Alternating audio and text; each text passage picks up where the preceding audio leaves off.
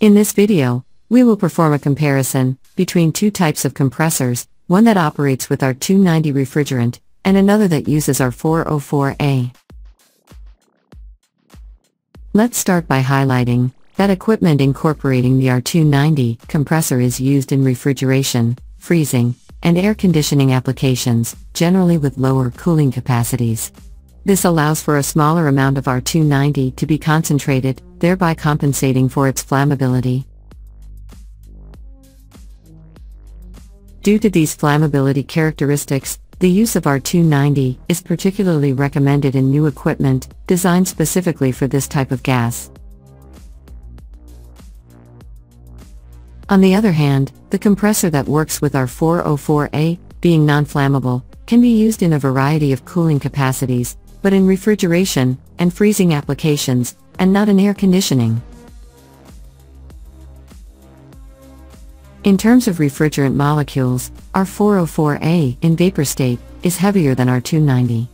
This means that with a slight volume of gas passing through the compressor, several grams of R404A will be transported. Although R404A is less efficient in terms of cooling, Compared to R290, the larger amount of grams passing through the R404A compressor ensures proper cooling of the product.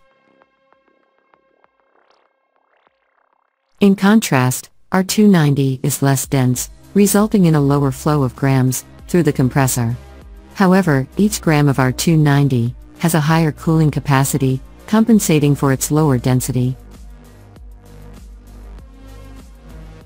A compressor using R290 handles fewer grams of gas compared to the R404A compressor, but each gram of R290 has a greater cooling capacity than a gram of R404A.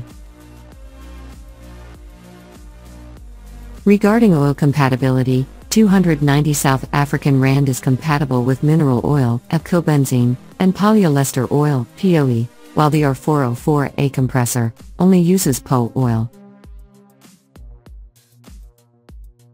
The compressor system using R290 gas is more efficient in terms of consumption compared to R404A for the same cooling capacity. The amount of R404A refrigerant needed in grams to achieve the same cooling effect as R290 is higher. As for the temperature at the compressor outlet, it is slightly lower in the R404A compressor compared to the R290 compressor. This is beneficial for the durability of the R404A compressor, however, as we observe in the graph, the discharge temperature of R290 is also low. The R290 compressor can be charged in both liquid and vapor phases without issues, while the R404A compressor must be charged in the liquid phase.